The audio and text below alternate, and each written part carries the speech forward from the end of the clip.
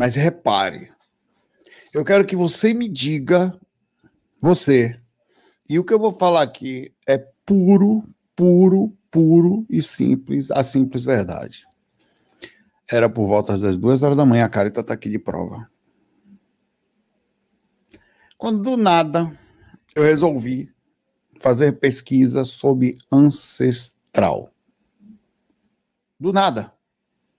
Até aí tudo bem, né? Passava da meia-noite, do dia 6 de agosto de 2024. Você sabe que dia é hoje? O dia que a minha. Faz cinco anos que a minha mãe desencarnou. E eu não sei porquê. Em qual cargas d'água? Às duas horas da manhã, quando chegou, me deu uma sensação de família, de ancestral tão incrível que eu comecei a pesquisar. E eu não sabia, só vim saber de manhã cedo. Quando eu vi a família comentando que a minha. Eu não sabia conscientemente. Eu não sabia nem o dia direito. Eu achei que era dia 16, eu nem fiquei muito ligado nessas coisas. Não sabia. E eu comecei a pesquisar. Aliás, eu consigo. Primeira dica desse vídeo: se você não fez, faça. Vá, vá num site que chama-se Family Search. Busca assim, vou botar aqui para vocês o link. Coloca lá os dados da sua família, familysearch.org. É, família busca por família. Coloca os dados da sua família aqui, seus dados, você vai ver que incrível. Eu achei dados, vou mostrar para vocês aqui, da minha família, desde a época antes de Jesus. Para você ter ideia, nem cabe a árvore a, a genealógica aqui. A árvore, vou falar para não falar isso, a árvore familiar aqui. Isso aqui é só uma parte que eu não consegui colocar toda aqui. Para você ter ideia, tem rainha, rei, rei da Suécia, rei não sei da onde, rei não sei, rainha não sei de quê. Aqui é antes de Cristo. Ó. AC antes de Cristo. E você vai pegando assim todas as coisas assim, eu fui pegando, fui entrando, eu falei, nossa, que interessante. Aí você vai, cara, é assustador. Você vai ver seus, a, a linhagem sua, você vai ver de onde veio. O da onde a família Baldotto na Itália, que é quase tudo italiano, inclusive tem um. Tá, tá para sair a cidadania italiana de lá também, apesar de Calderon ser uma parte espanhol, é porque Baldotto era não pegou. E que coisa incrível. Isso. Aí eu tava, a, a, fiz essa pesquisa tal, e uma sensação muito forte, assim, não uma nostalgia ruim, não, foi uma coisa espiritual. E eu comecei a refletir sobre isso. Cada vez que eu ia vendo uma foto dos, dos parentes, uma foto da, da. E parece fotos lá. Algumas pessoas botam fotos, como vocês viram aqui, tem algumas fotos, imagens, ilustrações, tal, aquelas imagens antigas daqueles quadros de que não tinha foto, né? Eles iam botando lá. É uma coisa impressionante. Pois pare com calma, com calma. É uma coisa você precisa de calma, porque você botar dados, aí pegar dados da sua avó, da sua bisavó, saber que data nasceu, aí quando você botar, vai, ele vai ele vai indicar essa daqui, aí você vai falar, é, ele vai pegar sua árvore, ele vai montando assim, vai abrindo. Aí você vai ficando assustado. E isso me fez começar a refletir que eu, hoje, baseado nisso aqui, eu tô lá embaixo, eu nem apareço aqui, ainda sobe mais. Eu carrego a história de toda essa linhagem. Você também carrega. Só que não é só a DNA que a gente vai falar sobre isso, físico. Tem uma coisa super interessante que acontece na questão do DNA. Comportamento é induzido pelo DNA. Ou seja, se eu tivesse um filho aqui agora, teria a chance de ele ter ou herdado ou ser forçado também situações kármicas, tudo. A seguir padrões, comportamentos positivos e negativos meus. Ele, ele ia sentir induções baseadas nas minhas ações. Observe a minha responsabilidade e a responsabilidade dos ancestrais sobre o que está correndo na minha veia e o que está correndo na sua. E ainda mais a fundo, observe que, muito provavelmente, aí a hipótese, isso não termina no físico. Por esses seres terem entrado no corpo, já vindo do lado de lá, trazendo uma cópia de quem era, misturando com as cópias dos pais, sendo induzido depois durante a vida as cópias dos pais e transmitindo isso aos seus filhos, de eles estarem conectados a gente numa força que a gente não entende também no astral. De nós podemos sentir todas as forças dos seres que passaram por aqui, e mais interessante ainda é que estamos todos conectados pelo jeito que a gente não consegue.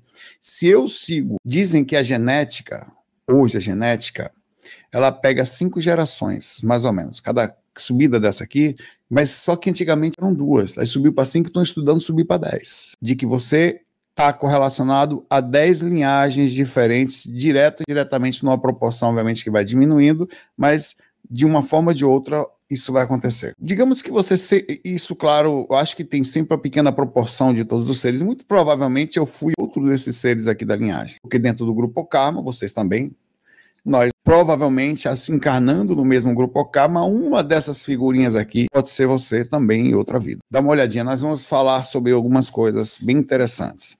E tem um princípio não só de indução de DNA, indução magnética também. E tem, se você é capaz de trazer a presença do centro ancestral na sua frente, trazer ele aqui, você, nesse exato momento, você carrega metade do seu pai e metade da sua mãe. Metade de cada célula sua é de cada um. Cromossomos.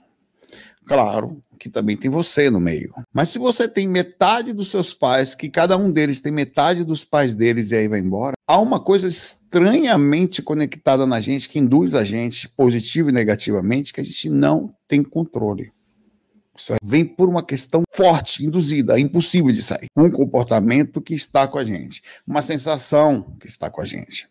Só que muita gente não sabe disso. Muita gente não usa a força disso. Você sabia que isso é tão interessante? Você pode trazer a força disso tudo para você, vai depender de como você enxerga, como você se conecta. Como representante de tudo. Porque eu sou representante hoje, posso não ser a melhor coisa do mundo. Mas eu represento a linhagem de todos aqueles que nasceram antes de mim. Não é só uma questão de sangue, não. É uma questão ética e kármica também. Eu represento, não estou falando de sangue aqui, todos os seres que antes vieram e prepararam e foram transmitindo conhecimentos até chegar onde eu cheguei. Claro que eu também tenho minha jornada e muitas vezes até ajudei nesse caminhar para sendo um desses para onde está aqui agora, ter um corpo mais preparado para poder hoje talvez estar falando de projeção astral. Então, de alguma forma, meu comportamento, eu tenho uma certa responsabilidade para os próximos que virão, que infelizmente não dividirão os meus cromossomos, porque de alguma forma a minha linhagem parou aqui a minha. Terão de Carita, que também tem os meninos, que são também como meus filhos, mas não os meus cromossomos, meus pararam aqui. O que acontece? A natureza percebeu coisa ruim, não deve ir adiante. Para por aí. Se, não copia que os filhos vão falar, vão começar a falar Zé Cozinho, Moda Focazinho, Zé do Brecht, eu para dar de mesa, não vai dar certo. E outros tantos têm a última bolacha do biscoito, lá vai. Não minta não. Não minta não, meu filho, falando pra mim. Não ia dar bom. Aí a natureza na evolução falou, para! Mas isso é são assuntos que nós vamos falar. Você sabia que seu tataravô, aliás, eu vi o meu tataravô, uma foto dele, andou por aqui, na Itália.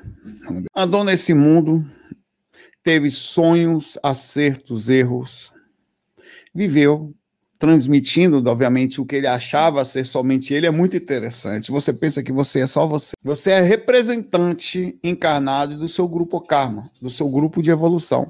E a, a parte ancestral carrega isso tudo em você. Às vezes a gente não tem nem ideia de quão nós somos conectados a uma Inclusive, você pode muitas vezes numa meditação, no trabalho, até no trabalho de cura, de movimentação, trazer essa força para você, onde você consegue transferir mais força do que. Inclusive, muita gente que sente isso, às vezes eu falo, às vezes eu ando como se minha mãe estivesse aqui comigo. E eu sou muito mais forte quando eu faço isso. Porque de fato tá. Metade dela tá aqui, eu sou representante dela aqui na Terra, como sou do meu pai também mesmo que eles não estejam aqui, ou consciente, inconsciente, físico ou não. Eu sou representante de tudo que está acontecendo. Isso traz uma força. Se está comigo e eu sei lucidamente que está comigo, eu consigo usar isso mais fortemente. E é isto que, que vocês devem pesquisar nesse site, porque é muito interessante reverenciar. E tem várias culturas que aqui fazem isso. Eu peguei algumas delas bem interessantes aqui. Cadê, cadê as culturas que eu peguei? As culturas que conseguem fazer um trabalho, as culturas, as filosofias, as partes ideológicas, que conseguem fazer um trabalho de proximidade com os ancestrais. Normalmente são os japoneses, que têm uma longevidade, um sistema cultural maior do que o normal, e outras situações que Japão, como você sabe, é talvez do tamanho de São Paulo, talvez menor, uma ilha, e, é, segundo, e tudo desses caras, sabe ler o que, que esses caras comem. Mas eles, eles têm uma veneração aos ancestrais, inclusive as práticas espirituais promovidas pelo Japão, vindas de lá, como o Jorei. O Jorei tem um trabalho incrível, muito bonito com os ancestrais. Tem um trabalho direto, é, se é falado isso respeito aos ancestrais. Se é explicado isso, se é pedido para colocar na frente da sua personalidade isso. Muito forte. Que, por ser japonesa.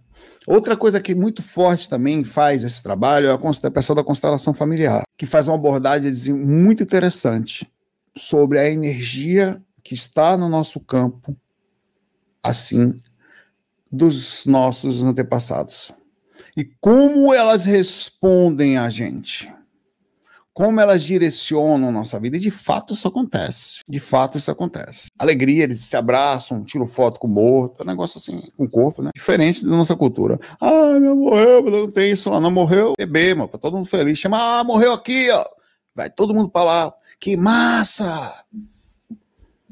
Cultura, olha que cultura, velho. Guatemala, ninguém diz nada. A Polinésia também tem um trabalho referenciando os protetores e guias espirituais que eles sabem também ser ancestrais. O hinduísmo também tem uma parte, é uma cerimônia que é realizada para homenagear os ancestrais, por uma questão de respeito à conexão espiritual. A importância de manter um vínculo espiritual aos antepassados também é falado bastante.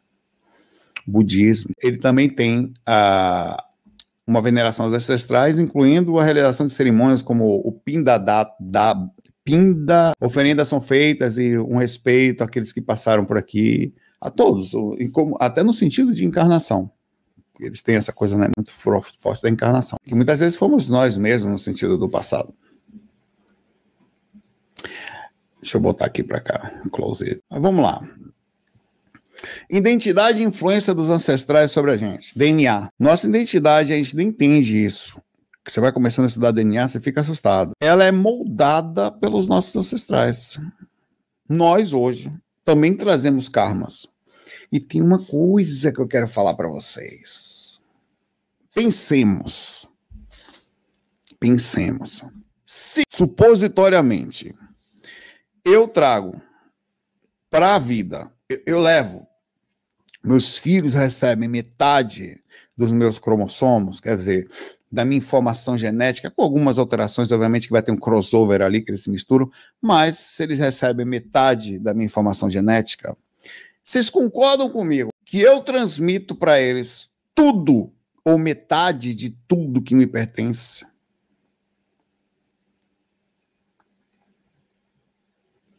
Vocês concordam comigo que se eu tenho um karma uma determinada, olhe que profundo isso, dificuldade. Eu encarno num determinado corpo e o corpo físico é moldado no seu DNA para responder à minha consciência, dentro das limitações impostas pelos antepassados, que estão caracterizadas nos representantes dos meus pais, meu pai e minha mãe. Misturo o DNA deles, eu vou moldar o corpo em cima disto. Tem uma parte minha que ninguém sabe onde entra ali, mas tem. Com isto, o meu corpo pode ou não responder, vai desenvolver mais esse cérebro em tal lugar, outro não. Porque eu estudei muito para ter um lado mais criativo desenvolvido. Eu estudei muito para ter um lado mais lógico desenvolvido. Isso vai estar com. Ou aprontei muito para ter um karma físico desenvolvido, onde pode ou não haver um processo de mutação transmitida geneticamente. Então significa dizer, olha que eu vou chegar agora, que eu transmito aos meus filhos os meus karmas proporcionais àquilo que eles podem ou não trazerem, mas eu vou forçar ele. Comportamento, eu sou uma pessoa nervosa. O meu DNA veio talvez de distante, mas ele sofre um processo de alteração mínima antes de eu nascer isso. E eu sou responsável por aquilo que eu sinto e por aquilo que os outros abaixo partindo do princípio que eu, eles serão influenciados por aquilo que eu consegui transmitir dentro do que estava dentro de mim. Claro, é uma... veja o tamanho da responsabilidade do grupo Karma em cima de cada um. Olha o tamanho da situação. É, faça. E outra coisa, faça conectado. Aos... Cara, quando eu fiz aquilo, eu estava muito conectado de madrugada a alguma coisa que eu não sei o que é. E foi minha mãe. Eu senti espiritualmente que alguma coisa estava diferente. E é, era o dia da, da, da desencarne da minha mãe. Tá? Então faça isso no momento que vai sentar, você vai, porque é um negócio que você que vai chamar tanta sua atenção que você vai ficar ali muito tempo. Então, senta, se prepara. Na, e se não faz na hora de dormir, que você vai ficar até de madrugada acordado. É um negócio interessantíssimo. Vendo o, a, a, sua árvore. Falei você, olha o tamanho da árvore familiar meu. Isso aqui é uma parte que eu não consegui pegar todo. Tá aqui aberto. Ó. Se eu boto aqui, vocês se assustam. Que não dá para botar aqui que vocês vão ver o nome da, de pai, de mãe, de avô, de avó, de rei. Cara, vai lá. Eu tô, é, é um negócio que vai antes de Cristo. Tem, eu consigo ver familiar lá antes de Cristo. Bom, falei, vai subindo aqui, ó. Olha esse cara aqui. King Marconi III. Ele nasceu 51 antes de Cristo até não sei aonde. Aí vai embora, aqui é dois, tal, falecida três, no ano três, depois de Cristo. Aí você vai pegando aqui, esse aqui, ó, é a, a, a rainha da Suécia. Desculpe, por isso que eu sempre me senti meio. Alguma coisa tinha em mim da nobreza, moléstia à parte, quero me gambar. Veja com calma isso aí, porque vai ter que pegar informação com o seu avô, com a sua avó, com a sua tia, Vai, vai ter que ser ter que a fundo. Isso, isso também é descrito em vários livros. Vários. É, a, a questão disso. As lições que são sempre faladas e comprovadas em pontos diferentes. Por exemplo, o nosso laço diz que nós somos resultados de muitas experiências e nossos antepassados nos guiam mesmo após a morte e na indução das questões físicas. Nos livros Mensageiros de Francisco Xavier, também fala, a sabedoria dos que vieram antes de nós está incrustada no nosso sangue, é um farol que ilumina a nossa jornada no plano terrestre e espiritual. No Awakening the Ancestral Spirits, que é um livro, destaca a importância de reconhecer e honrar os antepassados e não só conectar-se como parte essencial da nossa vida, nossa identidade espiritual e força que às vezes você acha que não tem. Você acha que está sozinho, psicológico, você vai. Você não tá, você é forte. Você tem toda uma história até chegar ali. Muitos vieram antes para que você hoje estiver. Pode não ser melhor, mas para você estar tá aqui hoje. Você representa e vai ser representado por tantos outros. Levanta, porque eles vão depender, os que vão nascer, de você. Você vai levar o sangue nas veias dele, dos próximos que vão encarnar serão induzidos. E você está conectado a todos os seres que estão no astral. E não só no sentido desprendido, mas no sentido prendido também. Amanhã vai ser você de novo aqui. E outro livro também que é o Healing, que é cura para a genética espiritual, ligado aos ancestrais, é um livro em inglês, Januar Roulet e Jante Dev, os autores, exploram como compreender nosso lugar na árvore genealógica, nos traços ancestrais e como isso influencia a nossa vida. Ele discute a importância de reconhecer isso e o potencial, inclusive, sobre é tão forte que a energia da cura pode vir por aí. A de destruição também, que nós temos um monte. Mas, no geral, é muita força que foi feita. É uma história que está contida. E é uma energia verdadeira. Ela não é, isso existe. Ela não é só um estado psicológico que você olha e fala, nossa, ela é uma força que corre em você fisicamente. Uma história de diversas consciências que passaram antes por aqui e formaram tudo que você é hoje. Tudo. São conceitos que você tem que honrar. Quando você sente isso, você se conecta a isto. Você fica mais forte. Você levanta até o peito de diferente. Você não tem medo de tomar pancada. Você está mais preparado. Os caras apanharam muito na encarnação, velho. Vários parentes desencarnaram novos, eu fui ver, vários. Outros tal, a média de vida deles, outra coisa que você consegue ver. Como morreram. Eu tenho uma tataravó que morreu de diabetes descompensada, estava lá. Até o laudo do médico estava lá, dá para ver até isso. Certidão de óbito estava lá. Interessante, né? Como que eu ia ver um troço desse? Como que eu ia saber entender que isso aconteceu? Pensar ou refletir, talvez a gente está apagado a coisas tão importantes. Uh,